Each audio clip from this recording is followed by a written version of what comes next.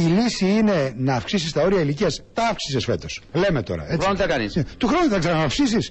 Γι' αυτό εμείς έχουμε πάρει θέση για την μη αλλαγή των ορίων ηλικίας. Και πότε θα τελειώσει αυτό το παραμύθι; Θα αφήνεις τους ανθρώπους να δουλεύουν μέχρι τα 90. Δεν θα κερδίσει η ελληνική οικονομία από μία αύξηση του ΦΠΑ. Άρα δεν είναι, δεν είναι κάτι το οποίο σκοπεύουμε να κάνουμε.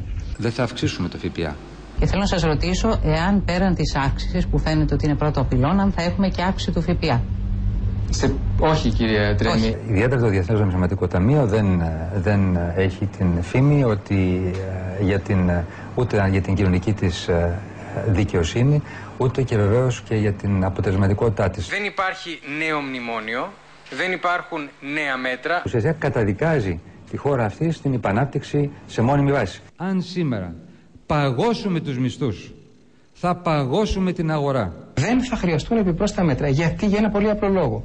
Ο στόχος μας είναι 4 μονάδες μείωση. Έχουμε πάρει μέτρα 6,4 μονάδες. Έχουμε τράτο. Αν αυξήσουμε τους φόρους στη μεσαία τάξη, θα μειώσουμε την αγοραστική της δύναμη.